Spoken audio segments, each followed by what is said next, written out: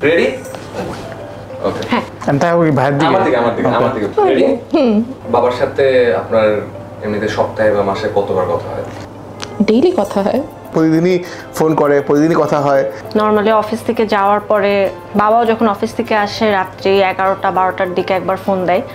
সাধারণত আমি একা যেহেতু ঢাকায় থাকি প্রতিদিনই আব্বা এবং আম্মা যে কোনো একজনের সাথে প্রতিদিনই কথা হয়। কি রিলেটেড কনভারসেশন হয়? আমার হেলথ নিয়ে বেশি কথা বলে আর তারপরে তো ক্যারিয়ার নিয়ে কথা বলে কি অবস্থা শরীর এখন কেমন? বা আব্বার খোঁজখবর নেয়া? আমার বোনের চাইতে আমার বাবা ক্লোজ দেখা যায় সব ধরনের ডিসকাশন আব্বির সাথেই করা হয় আমার। নিয়ে সবচেয়ে বেশি কথা হয় সেটা হচ্ছে যে আমার যখন কোনো কিছুর দরকার পড়ে। ডেইলি যেই কনভারসেশন যে আছে ক্লাস আছে কি না গ্র্যাজুয়েশন শেষে কতদিন লাগবে? এই কনভারসেশনে তো সাধারণত আমরা আমাদের মনের কথাগুলোকে আপনাদেরকে বলতে পারি না বাবাদেরকে বলতে পারি না। তো আজকে আমাদের একটা চান্স আমাদের হাতে আছে। যে আমরা আজকে বাবাকে ফোন করতে পারি এবং সাথে করে ফাদার্স ডে একটা উইশ করতে পারি। এবং আচ্ছা। সাথে করে হয়তো আমাদের মনের এক দুটা কথা বাবাকে বলতে পারি আমরা হয়তো ফোন করি বাবাকে দেখি বাবা কি বলে। ওকে। ওকে লেটস সি বড় খাব। আসলে ফোন দিতে হবে।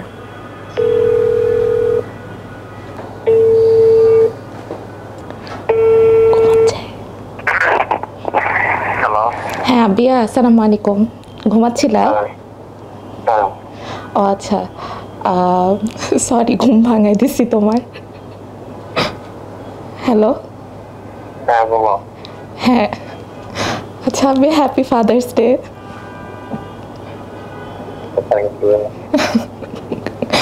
আচ্ছা ঠিক আছে এটার জন্যই ফোন দিছি।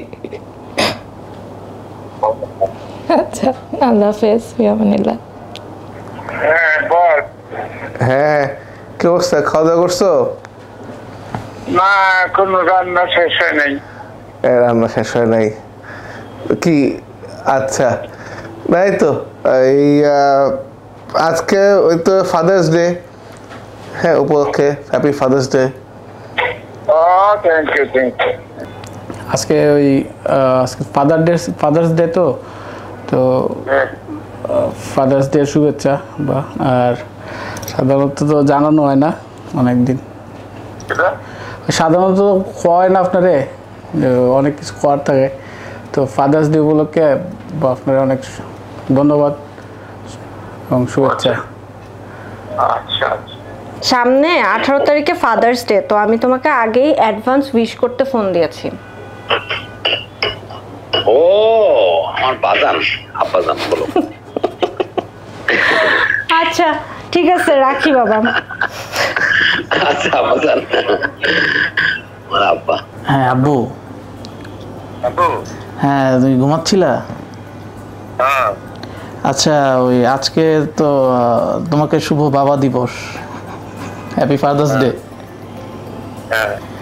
অ্যান্ড থ্যাংক ইউ আমাদেরকে সবসময় সাপোর্ট করার জন্য আমাকে সাপোর্ট করার জন্য। এই।